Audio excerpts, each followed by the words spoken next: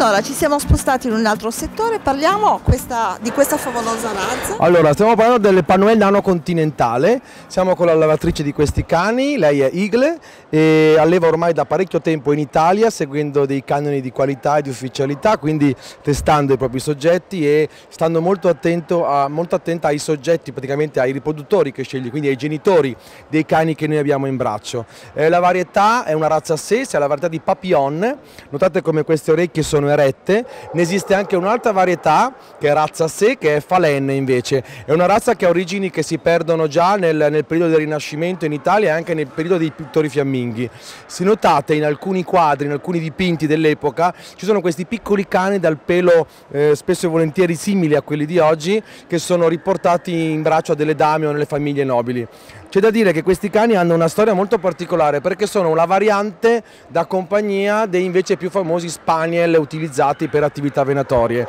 Quindi i mariti andavano fuori a divertirsi con i cani più grandi, le mogli stavano in casa nei salotti con questi piccoli cani da compagnia. Dicevo appunto si chiamano Papillon e Falen perché molto è l'aspetto di questi cani. Se notate queste grosse orecchie con questa pezzatura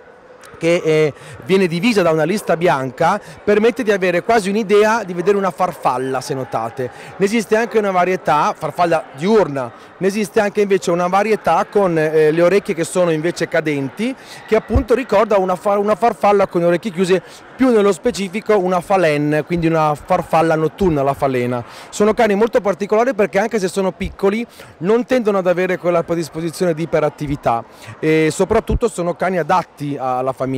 C'è da smentire una piccola cosa parlando di cani piccoli e la levatrice mi, mi confermerà, non è detto sempre che cani piccoli vanno bene con bambini piccoli, bisogna stare molto attenti, anzi eh, l'equazione corretta sarebbe cani medio-grandi con bambini, perché ci possono essere le eccezioni, perché ovviamente se uno ha i cani piccoli in casa e nascono i bambini, i propri figli si abitueranno ad convivere con questi cani e questi cani si abitueranno a convivere con i bambini. Però stiamo molto attenti perché purtroppo molto spesso eh, viene fatta questa associazione che non è corretta per una serie di cose che riguardano il comportamento dei bambini e il comportamento dei cani, perché sono cani anche molto delicati, più o meno possono pesare intorno ai 2,5 kg 3 all'incirca, quindi non sono cani grandi e hanno bisogno anche di eh, attenzioni particolari, quindi un bambino che strilla, che urla, che ha una manualità un po' troppo manesca potrebbe interferire con l'equilibrio del cane. Egle, perché ti sei innamorata proprio di questi esemplari? È stata proprio una casualità perché stavo cercando un cane piccolo per tenere in casa, uh, non trovavo quello che mi piaceva e per puro caso ho trovato questa foto qui. Uh, si trattava di un cucciolo di